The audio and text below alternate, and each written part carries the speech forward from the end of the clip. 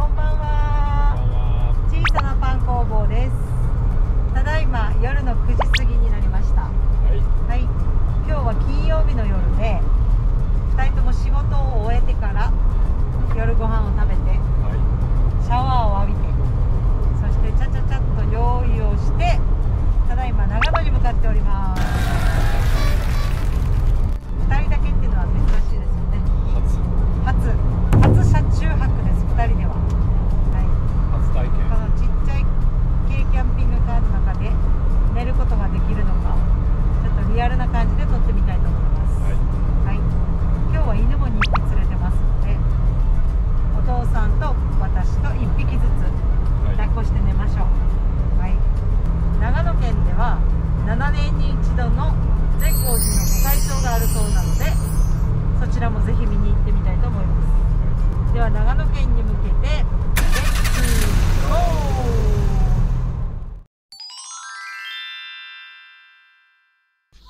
今日の宿泊先は有磯海サービスエリアで力尽きてしまいました。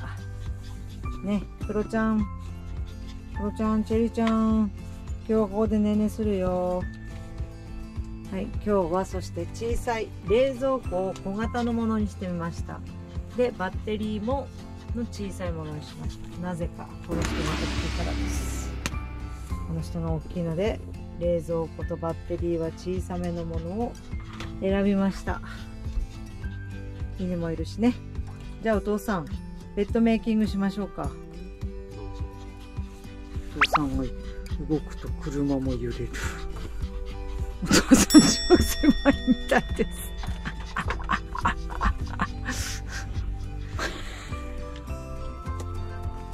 大きいって大変。のやっぱりね180センチ超えには狭いかもね。ちゃんとはあの お父さんにはやっぱりこの車はちっちゃすぎるね。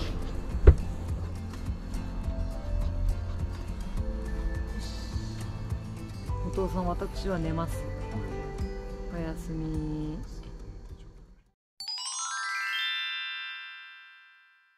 おはようございます。ただいまの時刻は7時半ぐらいですかね。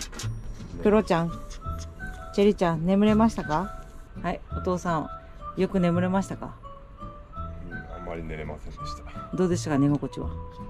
犬がいなかったら寝れたと思クロちゃんが邪魔した？うはいクロちゃんお母さんに邪魔されなんてで？うるせえとかめっちゃいびきかいてたお父さん。お父さんめっちゃいびきかいてました。アリさんの気持ちがよくわかりました。そしてこのカーテンが、やっぱりちょっと明るいね。朝方とかもめっちゃ明るくてこれちょっと遮光カーテンに変えた方がいいかなと思って今日はちっちゃいポタデンとちっちゃい冷蔵庫を持ってきましてこの中に家にある食材を詰めてきましたもう簡単にご飯食べていきましょうパンを入れて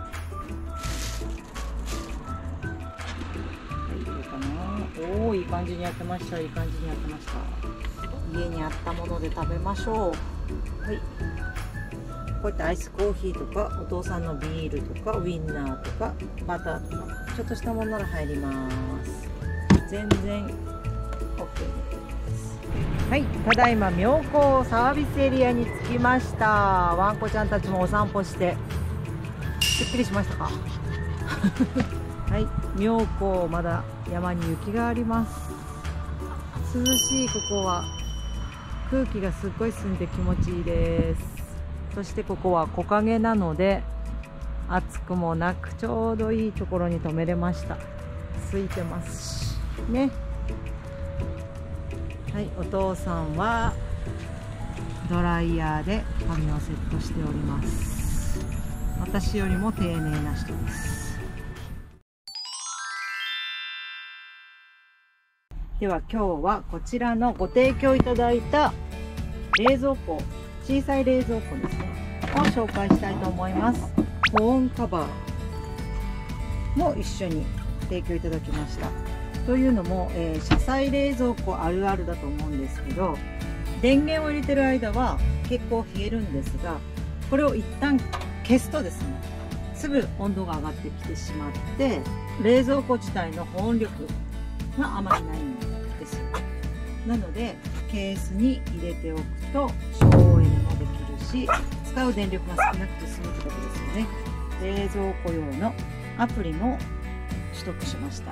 でこちらでこれで、えーと、温度を設定できるということになってます。20度からマイナス20度までできますね。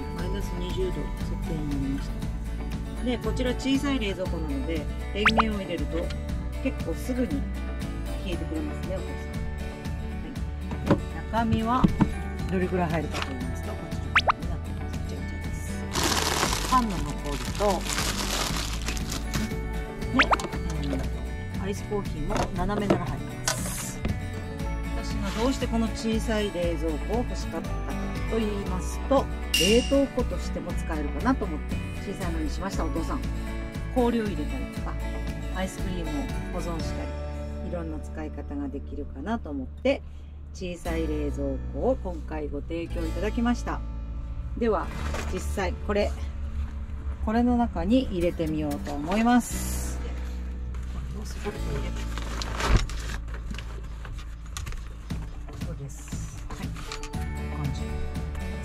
ですね。排熱するところはメッシュになっておりますのでちゃんと熱が出るということですね。そしてコントロールパネルのところもこのようにクリアになってるので操作できるし見れます。このポケットにはケーブルを収納できるようになっております。はい。電源のところもちゃんと開いてますね。で電源を入れると。これでしっかり冷えてもらいましょう。これ飲み物を飲もうと思ったらちょっとこう開けないといけないこんな感じでアイスコーヒーをいただきます。初めて来たけどすごい人ですね。私初めてですよ。すごいでかいねこれ。マニオーゾねす